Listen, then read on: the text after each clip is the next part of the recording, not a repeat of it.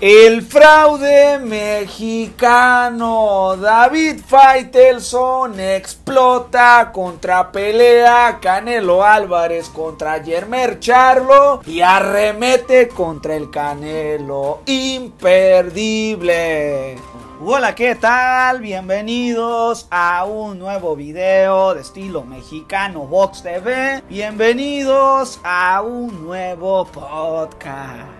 Ay, ay, ay, paren todos mis amigos porque wow, siguen saliendo los ecos y siguen saliendo las reacciones que ojo, ha dejado la más reciente decisión de Canelo de ir por Germán Charlo y no por su hermano Germán Charlo, amigos míos, ¿cómo ven? Pues sí, así como lo escucharon, pues ya son más de los tres días en que se dio a conocer esta decisión de Canelo, pero no, no han parado los ataques, no han parado las burlas y no han parado tampoco las explosiones contra el boxeador mexicano por pelear contra un campeón en las 154 libras y no contra David Benavides, Dimitri Vivol o cualquier otro boxeador dentro de su peso. Y es que hoy yo en este video les traigo, si no son las declaraciones más polémicas,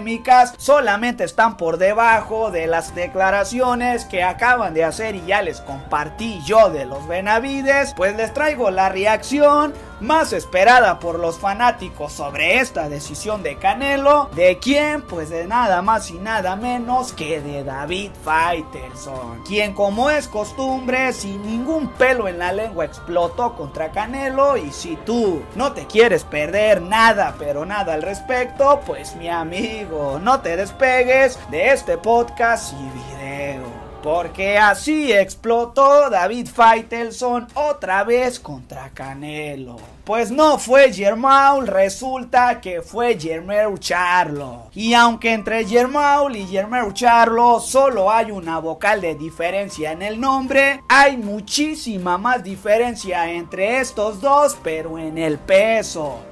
Yo me pregunto a quién quiere verle la cara a Canelo, porque ya me la ha visto a mí muchas veces, pero no sé si a sus aficionados esta vez quiere hacerlo. Él realmente quiso engañarnos. Declaró David Faitelson, quien ay ay ay, pues solamente estaba calentando el terreno para continuar con su polémica explosión ya con esto. Esto es muy sencillo, es una cuestión de matemáticas y una cuestión de peso o de libras y nada más. Uno boxea en la 154 y otro boxea en la 168. ¿Qué está haciendo Canelo entonces? Pues lo que ha hecho en toda su carrera, tomar ventaja sobre el rival. Eso es lo que está haciendo. No está enfrentando al mejor rival posible en el momento indicado. ¿Cómo ven? ¿Qué opinan de las declaraciones que hay, ay, David Faitelson acaba de hacer mis amigos.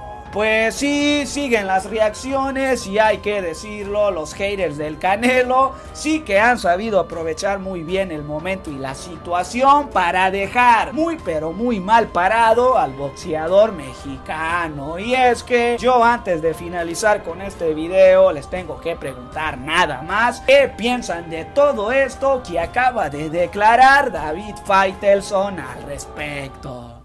¿Están de acuerdo o no? Qué piensan de todo esto. Nos vemos en la próxima. Adiós.